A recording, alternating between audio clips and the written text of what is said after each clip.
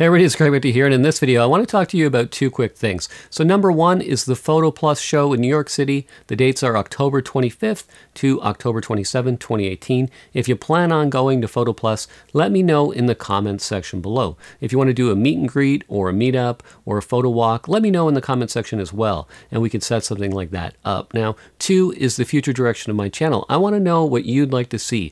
Do you want to see more photography related content? How do you feel about seeing more video videography based type content as well as what types of tutorials. So get specific exactly what it is that you would like to see.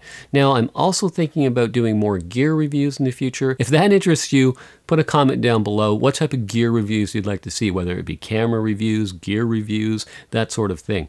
All right, I want to thank you right now for being part of this community and supporting my channel, and I'd like to help you out by giving you more content that you'd like to see. I know there's tons of photography channels out there. I'm subscribed to tons of them myself, and I'd like to tailor my channel more towards what you'd like to see. So if you want to see more live streams where we can interact live, if you want to see more in-depth lighting tutorials, or if you want to see more Photoshop or Capture One, more gear reviews, or if you want to get more into videography, so the types of cameras we use on our behind-the-scenes shoots, the settings of our cameras, the color profiles, the editing, the multicam setups, the sound equipment we use, the process for all of those videos. If you'd like to see more of that, or if you'd like to see more of YouTube-based type content, so how you can start your own YouTube channel.